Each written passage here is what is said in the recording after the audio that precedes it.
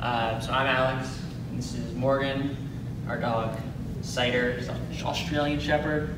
Um, we did the 15-day board and train with Bulletproof Dogs, and uh, I mean we couldn't be more thrilled to take him home. And uh, with the results we've gotten thus far, he's been kind of a hellion before this. Um, he's always been chasing after the cats and getting trash cans and everything. So it'll be great to have more his control. Not the right word to say.